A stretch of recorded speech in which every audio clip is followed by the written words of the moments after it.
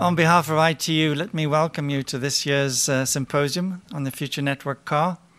It's, um, as Reinhard said, it's uh, quite a while since we've been running this event. And uh, for the last uh, five years, we've been doing it with the UNECE. So um, I'd like to thank UNECE for um, cooperating with us in organizing this event, and uh, in particular, the director of the Sustainable Transport Division, uh, Yuwei Li, uh, here uh, with us this morning. Uh, in fact, it's the 13th FNC uh, and um, the fifth we've organized with UNECE. Uh, over these years, of course, we've we've developed a very good collaboration between ITU and UNECE, both communities coming together, and uh, also developing a very good relationship with the industry during that time.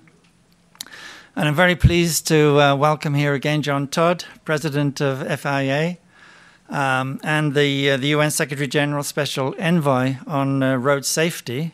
So um, again, very pleased that John has been supporting this event over the years, and third time he's been here with us. Um, so thank you very much, John, for bringing your unique perspective to this uh, discussion, and we look forward to hearing your keynote uh, address shortly. Uh, let me also thank our um, our sponsors. We have uh, three sponsors this year, and we rely very much on sponsorship for this event. So uh, I'd like to thank the silver sponsor, DEKRA, and the bronze sponsors, Qualcomm and Green Hills Software.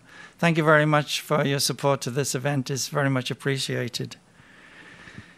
And uh, of course, we're very grateful to Palexpo and the Geneva Motor Show for uh, supporting this event over the last 13 years. And much has changed, of course, during that time. Uh, and um, over those years, the collaboration between the ICT sector and the automotive se uh, sector has, has increased considerably. And I believe that this event has, has helped to, um, to improve that collaboration between these two, two sectors. Because the symposium provides a, a good um, venue for experts from both sectors to come together to exchange uh, views, concerns, and to uh, work out how we can uh, improve our collaboration in the future. So uh, you'll see a very good, uh, interesting program in front of us today. It's uh, concentrating on 5G, 5G for, for the automotive uh, industry, uh, key challenges related to cybersecurity and data protection, and the role of artificial intelligence and machine learning uh, in the area of future transport management systems. Now, um, some of you know ITU very well, but some of you, I think, are new to ITU. So let me just mention that um, we have a quite a unique uh, membership. Uh, we have 193 governments members of ITU, but we also, quite uh, exceptionally for a UN agency, we have a large private sector membership. Over 500 companies are members of ITU. And uh, it's the industry members that drive a lot of the technical work, especially on standardization. And in the last few years, we've also benefited from uh, membership from academia. We have oh, around 130 universities members of ITU now. So ITU, of course, uh, concentrates on the critical uh, areas of um, radio frequency spectrum and uh, and international standards, and that's the role that uh, that we uh, bring to this uh, discussion. Uh, next year, ITU uh, will hold its um, World Radio Communication Conference.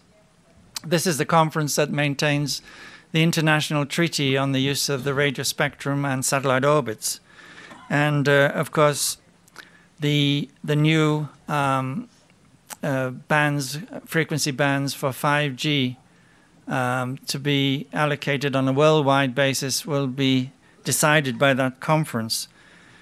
Um, this is in recognition of the, the, always increasing demand for more and more spectrum for mobile services, but uh, of course also for for, for data, uh, uh, digital transmissions. And uh, the conference is essential to ensure that these um, allocations to spectrum for these services are made on a on a global basis, so that you know devices can be used anywhere in the world on these same frequency bands. It's very, that's very important to ensure that, uh, of course, we have um, these services provided without interference from other services. And it's only through that international treaty that we can achieve that. Uh, and of course, um, the coordination of the satellite orbits is also very important. There are a lot of satellites up there, hundreds of satellites up there, and thousands coming. A lot of new satellite systems coming along uh, where very small, low Earth orbiting satellites, low cost, uh, are going to be going up in the next few years. And some of these networks consist of thousands of satellites. So these will provide very low cost data communication, especially to the rural areas, which is going to make a huge difference to connectivity. And then, of course, the international standards. Our international standards ensure interoperability and interconnectivity on a global basis. Uh, again, very, very important to ensure that costs come down because of the economies of scale of people being able to manufacture to these standards and enter into a world market. So ITU has already made some significant um, contributions to this area. I mean, we've allocated the 79 gigahertz band for automotive radar. ITU standards uh, exists for the communication between cars and infrastructure. We have um, a, a, number of standards on uh, the security, on hands-free operation of mobile phones, and uh, we're working very closely with um, UNECE to ensure that we have uh, secure communications between cars and the infrastructure. And uh, the new uh, UNECE uh, global regulation for vehicle emergency calls references the ITU standard on voice quality performance. And uh, we're working in the UNECE uh, task force on over the air issues, which is uh, developing the mitigation techniques to, to counter 18 identified security threats.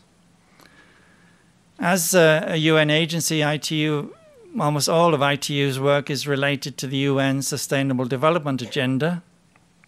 And um, of course, that has 17 goals um, to be achieved by 2030. And each of those goals has got targets, 169 targets in all.